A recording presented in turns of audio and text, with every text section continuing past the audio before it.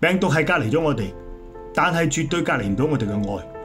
我哋嘅医学专家亦都尽紧佢哋嘅最大努力，尽快揾到治疗嘅药物。所以我哋千祈唔好灰心，我哋一定要战胜一切。新时代集团发起筹募善款，主办齐心会更美全国筹款日，请各位到加拿大红十字会网上专业捐款。我哋一齐联手心连心，为前线嘅医护人员同埋患者打气。你哋嘅每一分一毫意义重大。